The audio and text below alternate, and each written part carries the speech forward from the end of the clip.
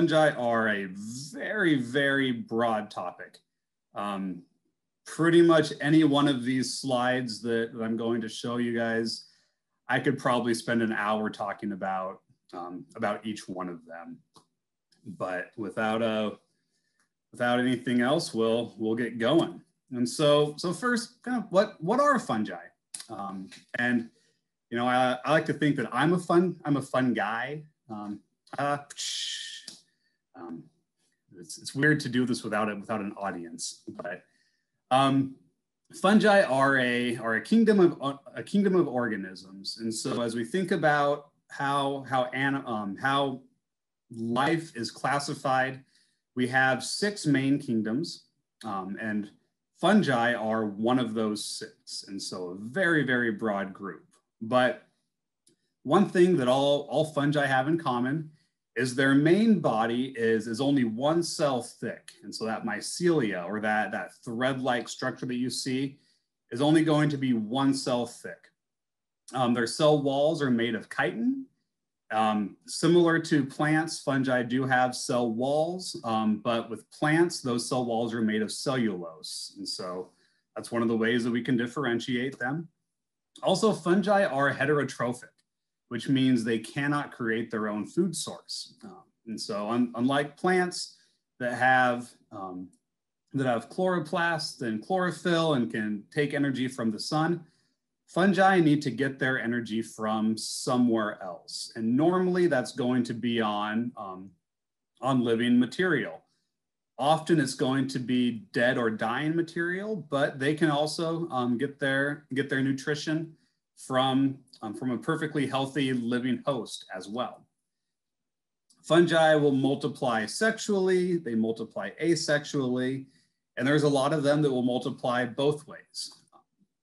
And we have, as, we, as we're then kind of breaking down our fungi a little bit more, the ones we tend to care most about are the pathogens. And so we have a lot of fungal pathogens of, of plants. But we also have fungi that are, are symbiotes. And so they have a, um, a beneficial or a mutualistic um, relationship with, excuse me, um, with their host.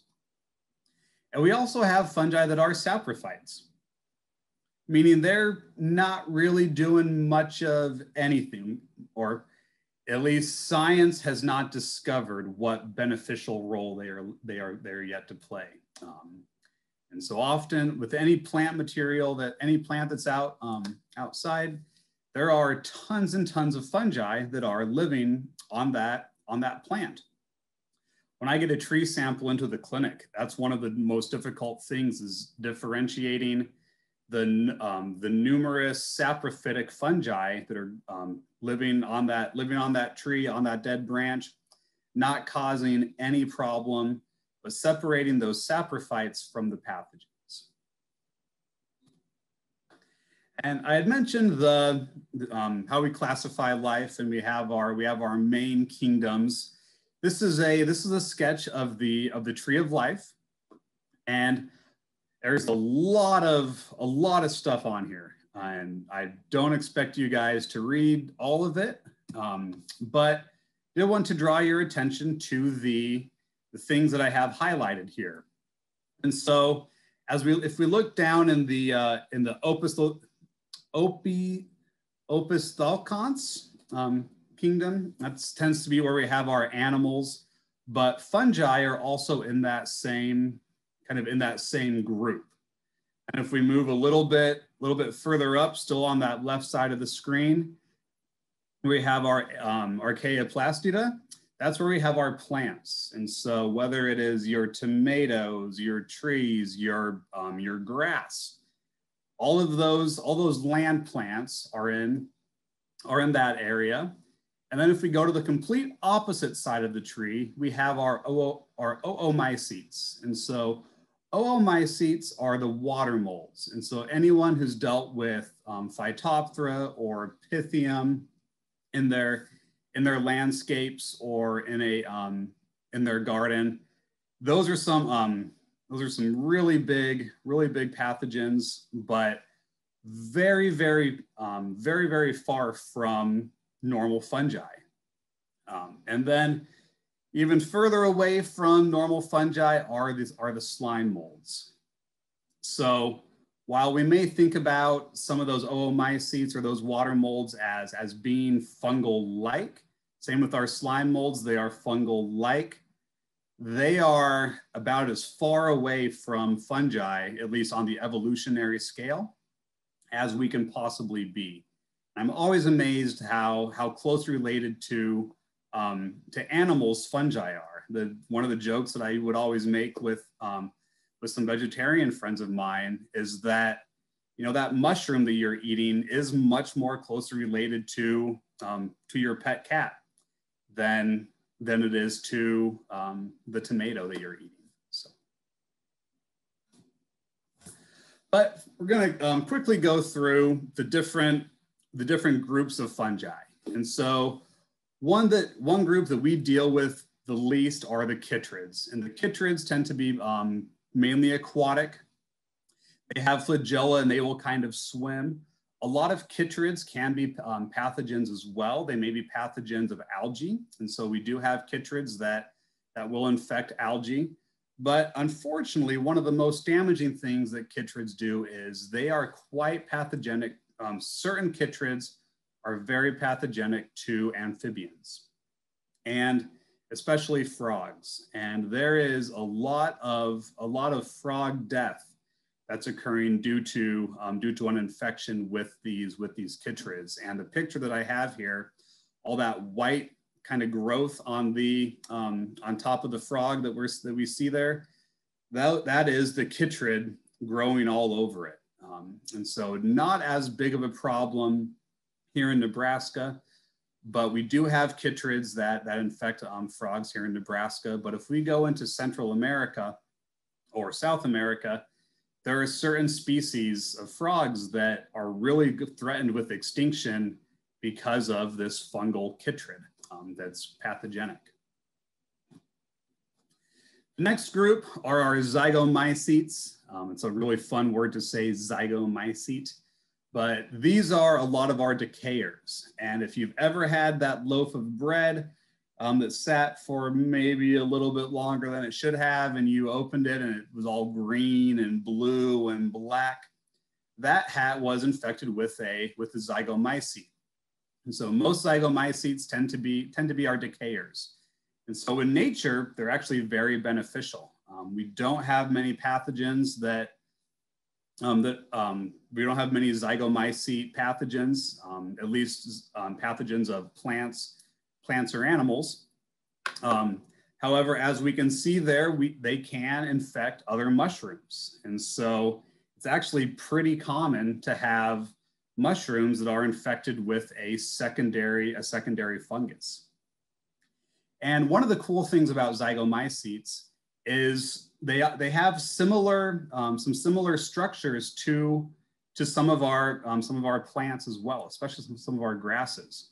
And so they have stolons and those stolons, just like with, just like with plants, they grow along the, they grow along the roots or they grow along the surface. Um, and so you can really see these kind of thick, um, thick growths that um, that help help the spread uh, help the zygomycete spread, and then they'll actually anchor at with rhizoids, and so the rhizoids are kind of the roots um, for zygomycetes. Next group I'm going to talk about are our glomeromycetes. One of our within the soil, um, over 50% of all soil fungi belong in the glomeromycete um, group. That's because glomeromycetes contain our mycorrhizae.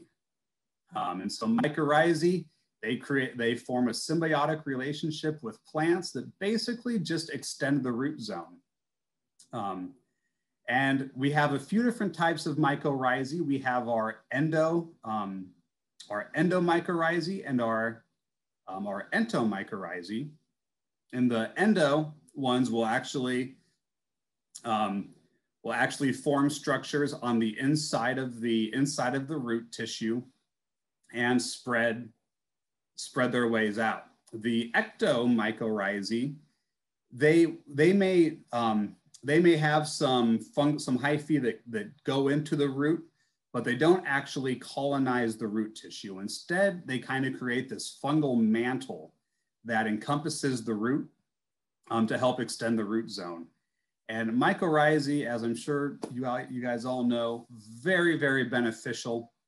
Um, a lot of research shows that, that plants with a, with a strong mycorrhizae um, association tend to, um, they tend to tolerate drought conditions much better because that root zone is so much, is, is expanded so much. They're also a lot better at some nutrient um, degradation. Fungi are very good at decaying phosphorus. Plants aren't so good at decaying phosphorus. And so one of the, what, what, what happens is the fungus will take some carbon from the plant and in turn the, the plant will take some of that phosphorus from the, um, from the fungus. Um, next group are our ascomycetes. And so most of our pathogens tend to be ascomycetes.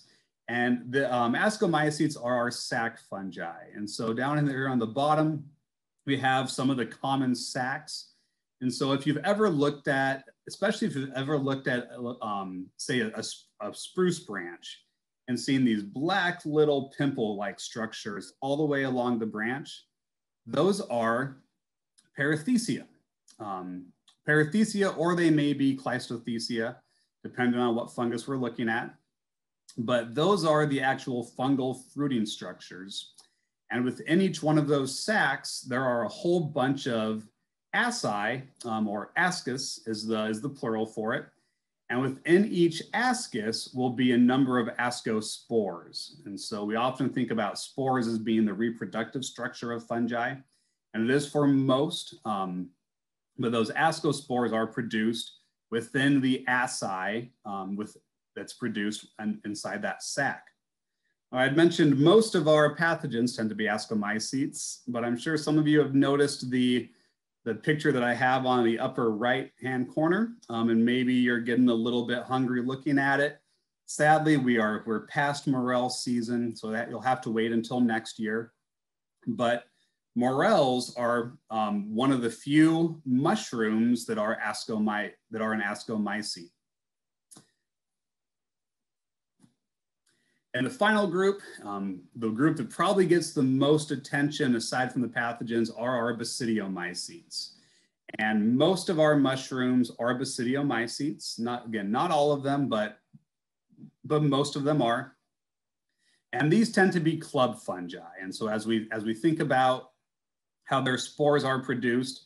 They're kind of produced more in a club-like um, in a club-like structure as opposed to that sac um, that we have with ascomycetes. So we've talked about fungi and discussed what fungi are, but what are mushrooms? And so mushroom is really, it's a kind of a catch-all term for that fruiting body that protrudes from a substrate and produces spores. Now, often when we think about mushrooms, we're going to be thinking about that um, very common parasol um, mushroom that we had on the had on the previous in the previous picture, something that has a good cap and a stem going down. But we have a lot of other types of mushrooms out there. And so puffballs and earth stars, they're just going to be round little masses of, of mycelia. And then we have our cap mushrooms, um, we have some gilled fungi, some shelf fungi. Anytime you see a little shelf-like structure growing out of um, growing out of your tree, that is also also a mushroom. And then we have our jelly um, our jelly fungi as well that are that are mushrooms. And so there is some debate um, in the scientific community. Should we call everything a mushroom or should we have different terms for, for the puffballs and the shelf fungi, things like that? I like to keep it simple and they are all, all mushrooms. So other thing that all mushrooms have in common is they are fairly fleshy, at least when they're young. As they harden, they may get kind of leathery um, and a lot tougher. But when young, they are, they are quite fleshy and end up being a very good food source for a lot of different plants, animals, and other fungi that are out there. And so one thing to remember is that all mushrooms are fungi, but not all fungi are mushrooms. And then we always have to talk a little bit about anatomy um, with, with our mushrooms. And so we always have that, or at least with our typical, typical cap mushroom, they have, they have that, they have a nice long stem as we can see there. Another name for that stem is a stipe. Um, but they'll have that stipe and on that, that stem, somewhere on that stem, there may be a ring, another, um, you, or you may hear that ring referred to as an annulus. Um, sometimes that, that annulus is not present or it may be very obscured. And then we have our cap. On top of the cap, sometimes maybe we will have some scales or some other growths that, other growths that form. Often those scales are, um, are a remnant of the universal veil that, that all fungi or that all mushrooms have, at least in their, um, in their very introductory stages. So we look at the underside of the um, underside of the cap of the mushroom cap. There may be gills, there may be pores, or there may be spines. Sometimes those gills or sometimes those gills are going to be very close together. Other times they may be fairly widespread apart. But the thing that the gills, pores, and spines all have in common is that they are there where the spores are actually released. And then down at the bottom is where we have um, is where we have our universal veil. And so the, the volva, the top of the volva is the universal, um, is, is that veil. Again, like I said, sometimes we have remnants of it on the cap. But then once we go underground, that's where most of that mushroom will actually be living is underground in that mycelial mat. Um, and so again, those long thread-like structures that expand, um, extend much further than we ever see with the actual mushrooms themselves. So first thing in our yard that I'm gonna talk about are slime molds. Um, maybe the most fun type of, uh, type, of, um, type of fungus that we see in our yard. But again, these slime molds are not true fungi. We, we, class, we call them fungi, but they're actually myxomycetes. Um, and they tend to appear in kind of slimy, wet mounds almost overnight. And we can have really large masses of, of the slime that occurs overnight in a variety of colors. Some are gray, yellow, red, orange, um, black, white, all sorts of different colors um, for these slime molds. They tend to be found on, on mulch or other, other plant material. On occasion, we will see them on, on living plant material, such as, such as turf. I've actually been getting a lot of calls about slime molds and turf in some, in some shaded areas where that foliage re, um, stayed wet a lot longer than normal. But the other cool thing about, about slime molds is they, they can move. And so if you look, if you have a slime mold um, patch in your, in your mulch, you look at it one day, you come back two days later, maybe it looks like it's moved a couple inches or a couple of feet. And the reason that it looks like that is because they actually they actually will move. And so they will form these, um, they, will form these uh, plasmodial, plasmodial networks. And the plate that, that I have there right in the center um, really shows some of those networks. And slime, so slime molds are brilliant at finding the easiest pathway to get from point A to point B. In fact, they were, uh, they were redoing the, um, the subway system in Tokyo a few years ago, right, 15, 20 years ago.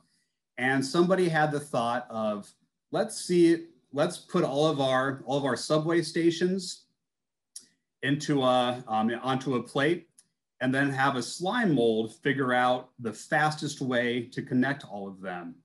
And sure enough, the slime molds um, ended up finding the path, the, the um, quickest way to connect all of the different uh, subway stations in Tokyo.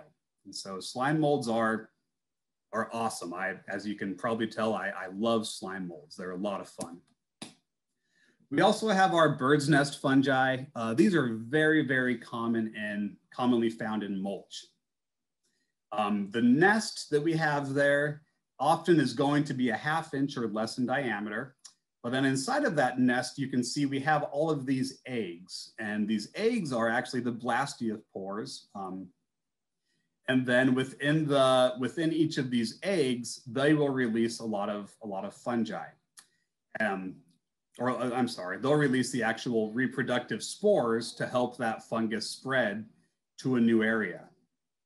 These guys really aren't harmful, um, same as slime molds, not at all harmful. And sometimes where with slime molds that they may cause um, some aesthetic issues. With bird's nest fungi, they're often too small to really cause, um, cause any issues um, with how things look. But if you have enough of them in your mulch, you, you, may, you may not like them. I personally think they look really, really cool. Next group of um, fungi that I want to talk about are our stinkhorns. And so stinkhorns are, um, these guys are actual true fungi. Um, most of our stinkhorns are contained in two different genera, the Mutinus and the phallus genera. But all of our stinkhorns have kind of a spongy, a spongy stipe or stem that grows up. And at the top of that stem is going to be a mass of smelly spores. Um, that's where the where the name comes from. Again, we you know we pathologists and mycologists we're not very um, we're not very unique when it comes to how we name things, and they look like horns that come out that stunk, so we call them stink horns. One of the other cool things about stink horns is they sprout from eggs. And these eggs will often be um, deeper in the soil, maybe 8 to 12, 16 inches deep in the soil. And you may just find these, these masses. The pictures that I have there on the bottom, bottom left-hand side of the screen are some of these, some of these stinkhorn eggs. But when you split them open, you can see that we do have kind of that mushroom structure inside of them. However, these stinkhorn eggs can all, um, they can be very easily confused with snake eggs. So if you are digging some up, um, you may want to be may want to be mindful that you're not disrupting a, um, um, a whole bunch of snake eggs. Next one are ash boletes. And so these guys are found exclusively under ash trees. And they're not a they're not really a pathogen of um, of the ash tree, but they do indicate a lar- um, something else is going on with the, with the ash tree. And so these mushrooms have formed a symbiotic relationship with the leaf curl ash aphid. And what happens is the, the aphids will feed on the, they'll feed on the, um, feed on the ash leaves, and then they'll, then they'll travel down um, and actually lay their eggs on the on the ash roots. As the, um, as the aphids then are feeding on the, on the, on the ash roots, they produce some honeydew or kind of some sticky, sugary substance. And the fungus then is actually feeding on the honeydew produced by the aphids. In return for that, that nice sticky honeydew, the fungus then produces a, um, a protective a protect a protective structure around those um, around those aphid larvae and eggs to help protect them from predation within the soil. And so really a, um, a pretty, you know, pretty cool, uh, pretty cool symbiotic relationship that, that these guys have. But one thing with ash boletes to remember is they're not a true bolete, um, but the name, the name has just stuck. We have a lot of mushrooms that'll show up on trees. Um, you know, have a few of the more common ones um, uh, pictured here. They can be found on living trees. They can be found on dead trees. Um, really depends on, depends on what type of mushroom we're looking at. But if we find them on a tree that is otherwise healthy, it's not a sign of an immediate problem, but that mushroom, it is feeding on something within the tree. And so it is causing a little bit of wood decay. So it's not an, again, not an immediate problem with the tree, but we really recommend just keeping an eye on that tree for other signs of stress. Maybe it's dropping leaves early or it's late to leaf out. Um, and if we start to see that, um, some of some of these other signs of stress on the trees, then we'll want to start thinking about maybe um, maybe replacing this tree in the future. And in our lawns, we can we can also have our fairy rings. Um, these fairy rings are often kind of circular, or they, they, may be semicircular. They can be any, anywhere from about one inch in diameter in diameter to the largest one that's been recorded is was over 60 feet in diameter. But that circle is actually the outer edge of the mycelial growth. And as I mentioned, you know, mushrooms are very good at, um, at nutrient decomposition. And so that ring, we may have some dead grass that, um, that forms there, but typically we're going to have some taller, thicker, darker, and just overall healthier grass at the edge of that growth ring because the fungus, um, because the fungi are so good at, at breaking down, um, breaking down other soil nutrients and then give, um, and making them available to the turf.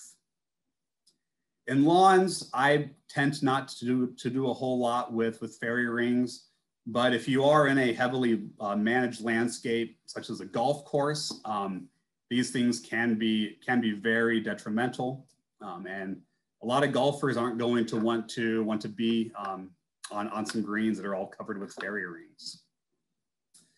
We also have our puff balls. Um, those tend to be large masses of, of fungi.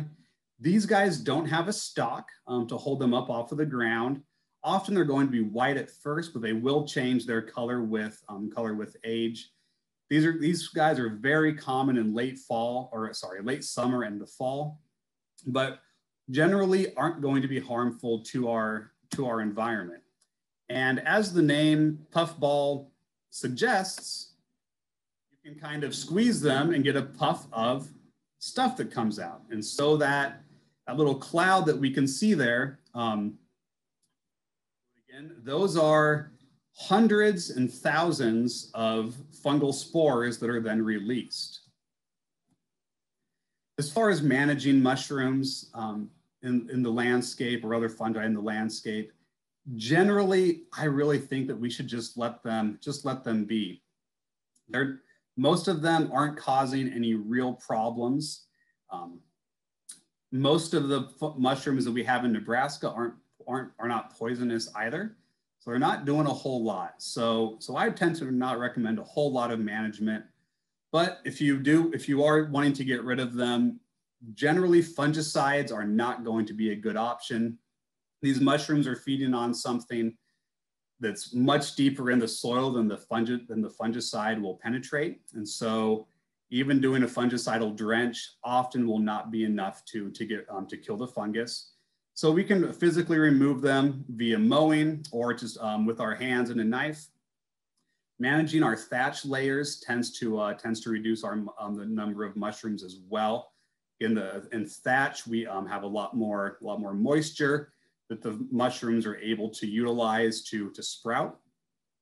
If you are if you are having issues with mushrooms or fungi in your mulch beds, maybe look into using a conifer-based mulch. Um, a lot we don't see near as many fungi growing on on our conifer-based mulches. But if you are looking to get um, looking for a way to get rid of the mushrooms that are growing in your lawn, I often just recommend fertilizer. Um, and so an addition, maybe an extra burst of, of nitrogen. The nitrogen will stimulate root growth. The roots are really good at helping break down some of that woody, uh, that woody material lower in the soil that the fungi are feeding on. And as we're thinking about mushroom ID, photos um, can work. We always wanna make sure we have a picture of the cap, both the top and the underside of the cap. And also we want a good picture of the stem and then additional information such as what is it growing on? Where did you find it? Um, was it a single mushroom or were they growing in clumps? That's always very beneficial in terms of mushroom ID. But one thing I really, really want to um, uh, want to uh, to mention here is never eat a mushroom you find in the landscape unless you are 100% sure of what it is. There are a lot of poisonous mushrooms out there that look quite a bit like our edible ones. And these poisonous mushrooms, they may not kill you, but you will certainly have a very upset stomach for, um, for a couple of days. And we do have mushrooms that can, that, that can kill you. They're not very common in Nebraska, but they do exist.